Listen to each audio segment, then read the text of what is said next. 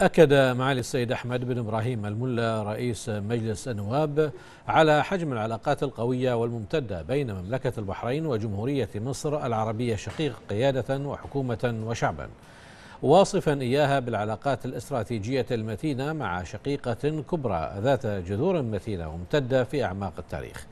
جاء ذلك خلال استقبال معالي صباح اليوم نظيره رئيس مجلس النواب المصري السيد الدكتور علي عبد العال والوفد النيابي المرافق مشيدا بما تشهد العلاقات المصرية البحرينية في الوقت الحاضر من نمو متسارع في مختلف المجالات وعلى الصعد كافة.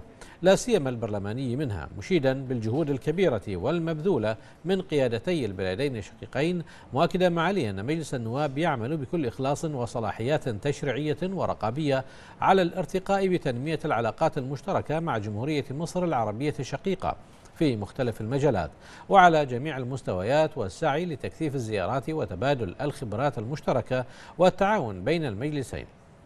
من جانبه أكد الدكتور علي عبد العال رئيس مجلس النواب المصري على موقف جمهورية مصر العربية الدائم والواضح لدول مجلس التعاون بشكل عام ومملكة البحرين بشكل خاص مشيرا إلى أن أمن مملكة البحرين واستقرارها وسلامة أراضيها خط أحمر.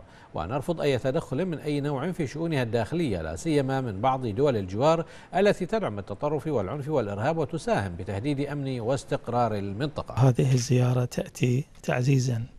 للعلاقات آه، الثنائية الأخوية والتاريخية التي تربط بين مصر والبحرين وأيضا لتعزيز التعاون البرلماني بين البرلمان البحريني والبرلمان المصري. تطرقنا الكثير المهمة من الأمور المهمة التي آه، تهم البلدين وتهم أمن واستقرار مصر والبحرين. وتطرقنا أيضا إلى تعزيز العلاقات البرلمانية سواء على مستوى الأعضاء أو على مستوى الأمانتين.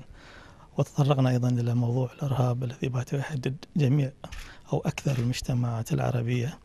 وأيضا أكدنا من خلاله على وقوف البحرين مع مصر ووقوف مصر مع البحرين في هذا الملف الخطير وهو الإرهاب ومن يدعم هذا الإرهاب. وكذلك تطرقنا إلى ضرورة تنسيق المواقف في المحافل الدولية بين البرلمان البحريني والبرلمان المصري.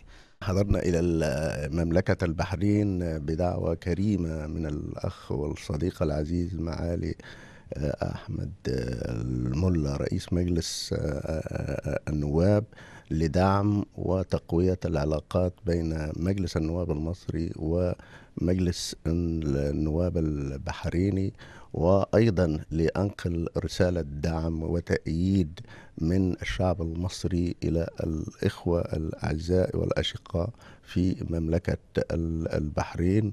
وداعمين أيضا لما يقوم به جلالة الملك في توطيد العلاقات بين مصر ومملكة البحرين. الإرهاب هو التحدي الأكبر يمكن أمام مملكة البحرين وجمهورية مصر العربية. وأعتقد الدولتين متوافقتين متفقتين على مكافحة الإرهاب واتخاذ كافة الإجراءات لتحجيم هذه الظاهرة. أيضا هناك تحديات أخرى التدخلات الخارجية وفي هذا الجزء أن نحن نؤكد على أمن وسيادة البحرين وداعمين لها فيما تتخذه من الإجراءات للمحافظة على سيادتها. أيضا الملفات الأخرى هي المتعلقة بالتعاون التعاون في كافة المجالات ولا سيما في المجال الاقتصادي بين جمهورية مصر العربية ومملكة البحرين الشقيقة